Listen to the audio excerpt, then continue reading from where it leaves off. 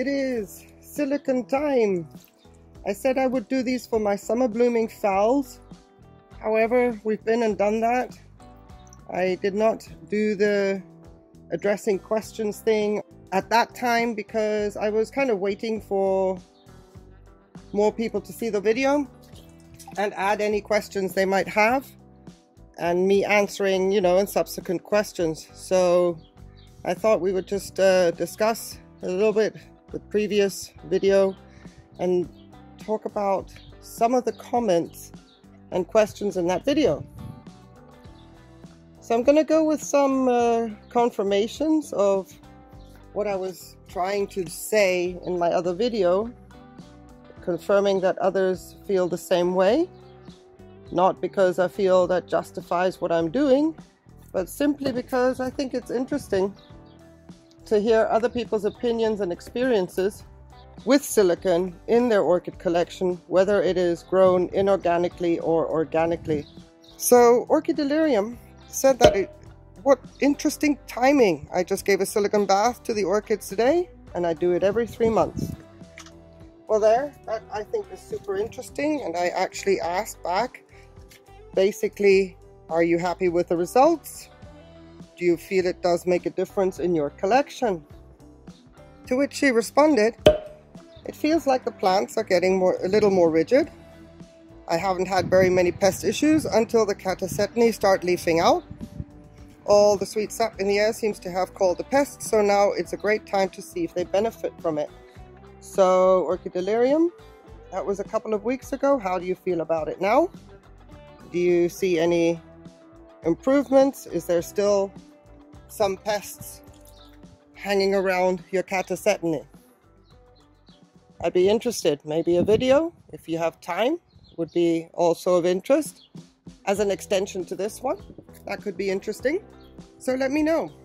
The Orchid Room also had a good comment here. I really like silicon too. I really get very few spider mite issues from my plants unless they're a bit stressed. Yes, that can happen. And I really put it down to silicon. When I do get an outbreak, it's usually on a plant I've recently repotted or accidentally let dry, etc. And never on Vandas, Phals, or Cattleyas. Only on Catasetums and on Oncidiums. Even my Metoniops seem resistant. Never thought to foliar feed with it, as you mentioned for the Vandas. Now that I have the conservatory, maybe I will supplement foliar feeding with magnesium sulfate at the least as I can air the room really easily. Do you think silicon is absorbed through leaves or just provide a coating action? I've never looked into this. Well, I think it depends on the time of day uh, and night, which will determine if it gets absorbed, bearing in mind that it's a minute amount, which to be effective in foliar feeding have to be repeated more than once a month. But as I'm able to go around and spray at liberty like Rambo, at least this time of year, the Vandas, Tolumnias, and anything mounted get it pretty much every other day. I think it helps, my Tetratonia being the only one I never soaked, and boom, this year I had scale on her, which is now gone. Now she's getting soaked because the new growths will succumb to scale before they do uh, soak with the time to dry in between. So thank you Orchid Room for that comment. And um, yeah, foliar feeding, is definitely something that I do, especially with my bare-rooted Vandas. I do have the tub in which I soak my Vandas, but very rarely do I put silicon in there because that tub isn't getting refreshed that often. It gets filled up, you know, so there's no point in doing something that isn't going to be there long enough. So because I've, i can spray them and keep up the humidity, every once in a while I do have a weak solution of silicon in there because I don't want to cover the cuticles. And I can do it in the evenings, late afternoon evenings, where because it's warm enough now. I do not do that in the winter. So the next question came from Lynn Brooks. Morning, Nina. I say good morning because it's 1 a.m. Okay. I use silicon occasionally. You don't know if it really if I really need to, but I think it may be a bit fashionable at the moment. I don't have a time schedule for it, only when I remember, so you use ppm, not mils per liter. The level seems quite low. Right, I did refer to the ppm because the concentration with the ppm is easy to follow as opposed to some people have a different manufacturer of the product. And I feel that the ppm gives an idea of what I do. Doesn't mean that it's necessarily right. And the fact that I only do this for the six months of the year, um, I actually uh, double what my manufacturer tells me to. So if you look it up on the internet, what people recommend for ppm is about 32 to 64 ppm. And I go at 100 once a month. And that's only for six months of the year. So I consider that pretty much st sticking with the guidelines and the recommended dosage. But um, yeah, not everybody works with milliliters, um, so ppm was for me the better reference. My product at the moment calls for 5 milliliters in 10 liters. I double it. That depends on a product on an individual basis, but ppm is pretty much generally understood, so I went with that. So thank you, Preben, for your comment. I appreciate your encouraging feedback with regards to my video. Thank you very much. And uh, the information was good about silicon. I appreciate that as well because there's certainly more in-depth information out there and I just try to keep it as simple as possible. So appreciate that. So you've never tried silicon uh, and your collection is going well. Fantastic. That's great to hear. Use distilled water with MSU fertilizer and CalMag. And you've never had a problem with pests. Well, that is awesome. That is absolutely, yeah, I would say well done you. Meanwhile, I, I, this collection is only two years old. Some are, actually some are three years old now. But I have other plants planted around my orchids that attract a lot of pests. And I think by doing that, I'm giving them a place to be and not come and accumulate themselves on my orchids. However, I have also noticed with my Tetratonia, and that was the kind of the click moment in my head of all of them that you see here, you've seen prior, they've all been handled with silicon, but my Tetratonium not. And yeah, the only one with scale this year. I don't know, for me, I think that doing inorganic there has to be extra supplementation because there are certain chemistries that are not occurring what would occur in uh, organic growing method. My opinion, but you know, if you've never had pests, my goodness, maybe you need to come up with why you haven't had pests and share it. I'm sure people would appreciate that. Honeybees and orchids, appreciate your comments very much. It was an informative video for you. Thank you. I appreciate that too. And the bottle says silicato di potassio. Does that mean it is potassium based? And if so, is it a potassium boost or a silicon boost? Well, good point, because I just look at the bottle I see silicon. I just see the potassium element as the transportation mechanism to get the silicon into the plants. So you brought up a good point and thank you very much. Because for me in my head, it was just silicon, but it, it's not. You're right. It's a bit of both boost. Thank you for that uh, brain jog, which was very valuable. Thank you. Mona Chica, thank you for your kind little description of... oh, thank you. the silicon treatment, is it good for all plants? Yes, it is actually. And if you have terrestrials or whatever, then, you know, any house plant, absolutely. It is not exclusive to orchids. But the only thing with the orchids, uh, I would always be cautious with regards to the pH. Whereas if you do something with a house plant, the soil has a certain acidity, so you can just put it in there on some brands and, and it won't be a problem. Now, my bottle specifically says to check the pH before even watering, which makes sense because if you remember the other video, you could see how high the pH went and you had to go down quite a bit. So that's the only difference. But yes, absolutely perfect for any plants. Cheery colors. I think if you were watching this video, maybe some of your questions have already been answered.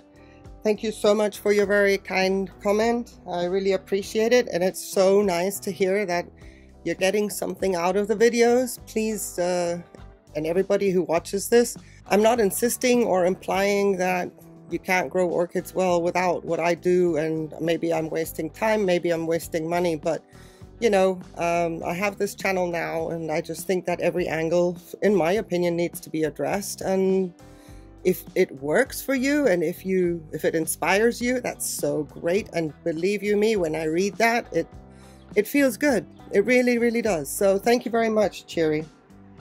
Basically, as you can see, I always soak, except for my bare root orchids. My general answer to your questions was anything bare root I go with a lesser dose simply because I do it more often and I don't want anything to dry too quickly and leave some kind of a residue on it. I do want the leaves to absorb it. Bear in mind that foliar feeding in the summer is the best simply because you've got plenty of time for things to dry out.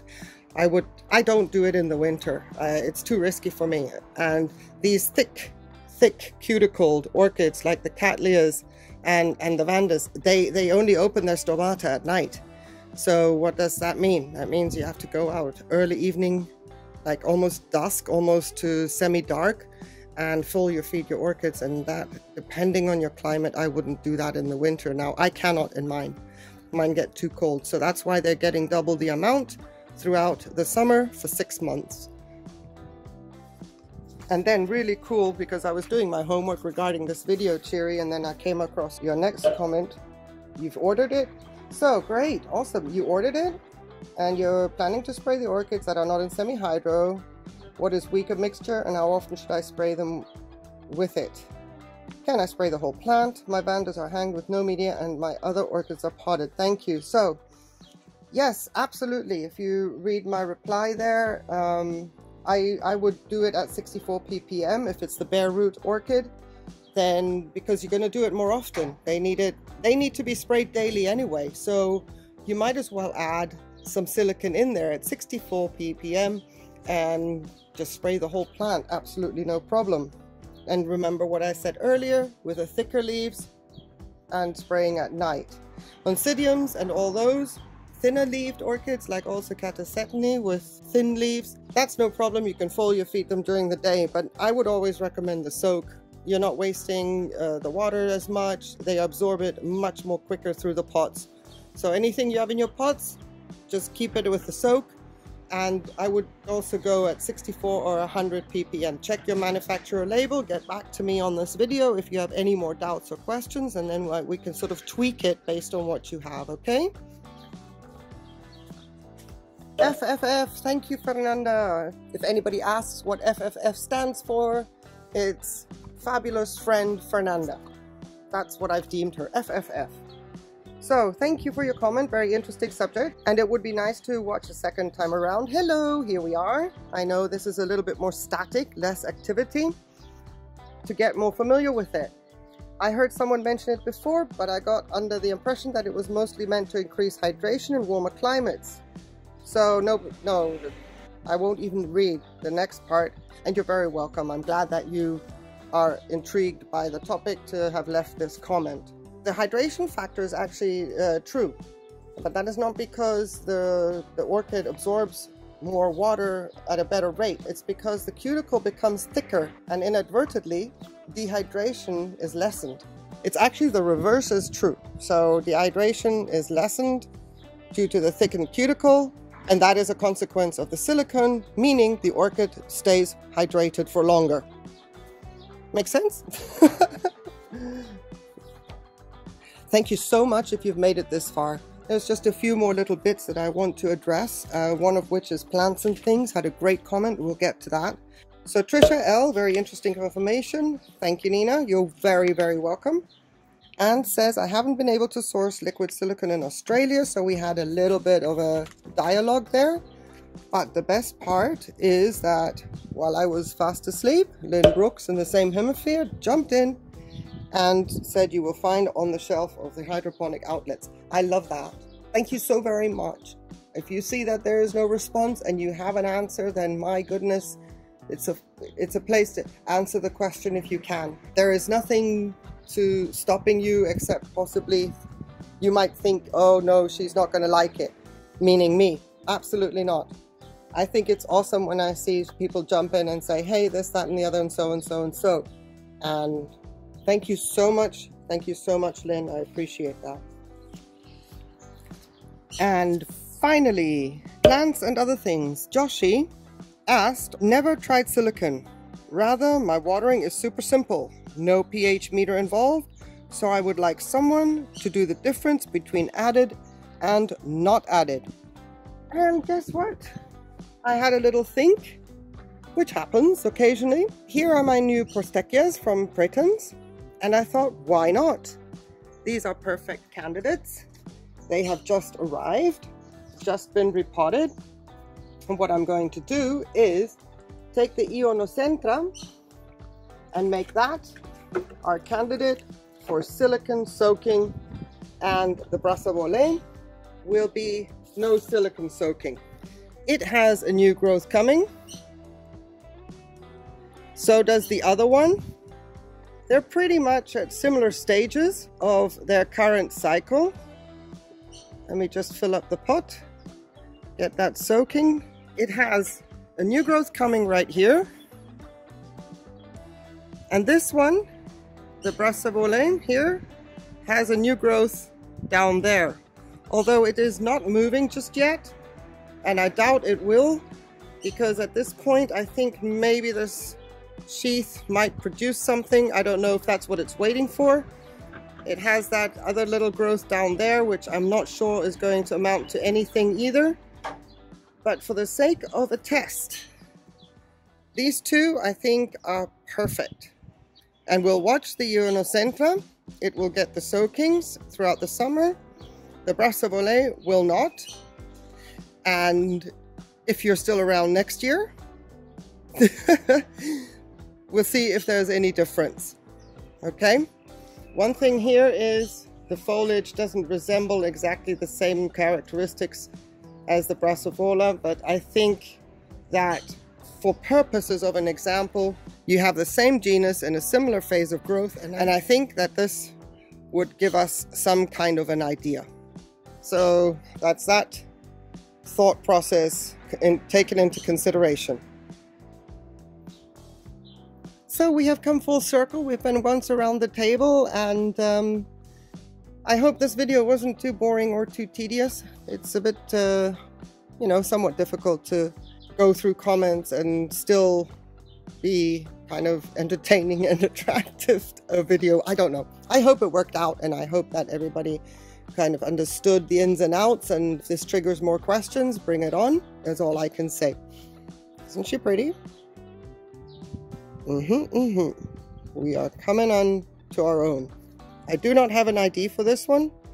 It was sold to me as Epidendrum nocturnum, and clearly it's not, so I have no idea who she is, but I consider her my little pixie fairy transportation vehicles. Thank you everybody very, very much for watching. I really appreciate it, as always, and, well, I'm here for you. I hope this was somewhat interesting not everybody gets back to the videos and looks at the other questions and maybe the accumulation of all those answers and questions etc is valuable just to have it in one video as, as opposed to having to go back read the comments. So I appreciate it. Thank you very much and I will see you next time. Take care everybody. Thank you for watching. Bye